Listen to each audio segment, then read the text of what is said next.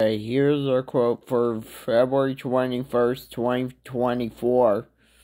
Whoever heeds them discipline, them shows the way to life, but by whoever ignores them correction leads others astray. But languages are the most powerful way to, to preserve them and them develop them cultural them heritage heritage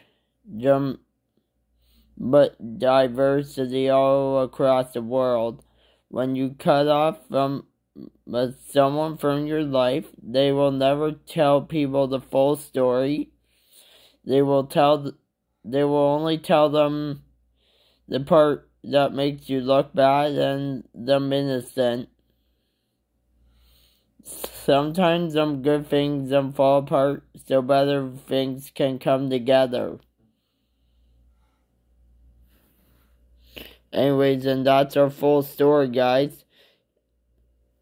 Anyways, if you guys have enjoyed this quote, please don't forget to leave a like, subscribe to my YouTube channel, comment, and don't forget to hit that notification bell right next to the subscribe button. And thank you so much for watching, everyone.